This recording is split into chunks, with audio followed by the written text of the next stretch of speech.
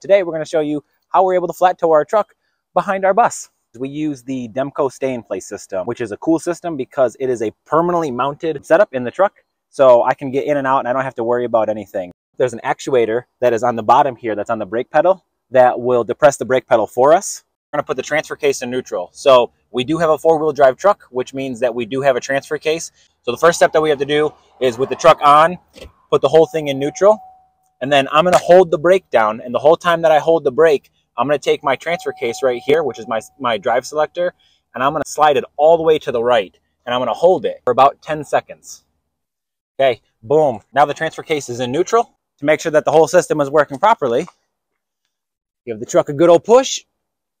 It's in park. Help if I grab it.